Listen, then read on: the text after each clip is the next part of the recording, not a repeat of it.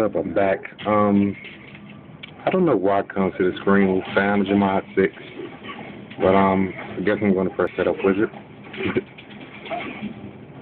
going to bring you to the little green android. I'm going to rub his belly. Um, let me see. Skip all of this for right now. I'm just actually trying to get you to the mod. Skip. Next.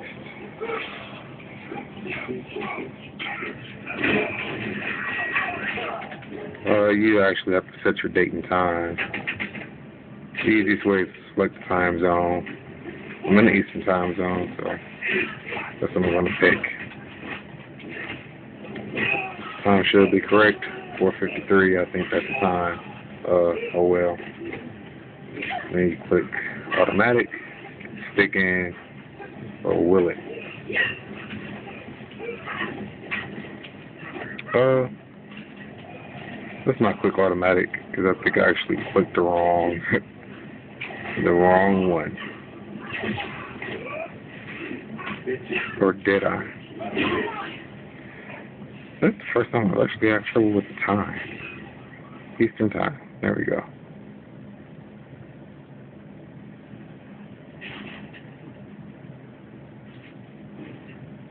Okay, it's stuck in at that time. Thank you. Click next. I don't know why it just brought me back to that, but we're going to hold the back button. It should take us home. Then you have ADW launcher. Sound is my six little Android helper guy thingy. Majig. It's like really fast. Like barely any lag. Barely. Like very responsive. Um, the most I remember about this mod from installing the last time is you're automatically rooted. Comes with a couple of preloaded apps like Twitter, um, Facebook, all your regular Google stuff. And you have things like like development tools. Um, really don't know what that's for. I oops, really don't use it that much. Uh, I think you can actually fix permissions in here. Uh, not sure, but I'm going to click out of that. Um, what else you have is, where is it, spare parts, where you can actually change your end button behavior. Because when you first install this ROM, if you press the end button, your phone goes to sleep. As seen.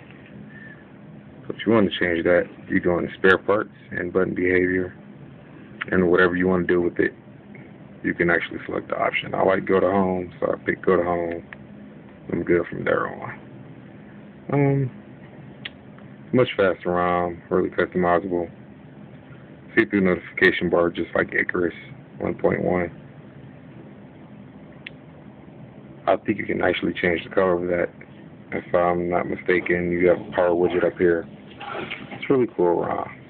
Not too fancy, but very customizable. Um, everything's still the same. Click and hold drag and drop and you can resize all the regular things you would do on a custom ROM or any Android, not any Android operating system, but newer Android operating systems at that. By the way, you are running Froyo if you install this. For the proof and the pudding, I'm going to go to... Oh. You're going to go to About Phone um, Android version 2.2.1. My version CM6. And, and that just about sums it up. Um, thanks for tuning in to another one of my videos. Subscribe, uh, comment, like, dislike if you dislike me. Fuck you too. And uh, I guess it's the end of the video. Later YouTube, and I'm out.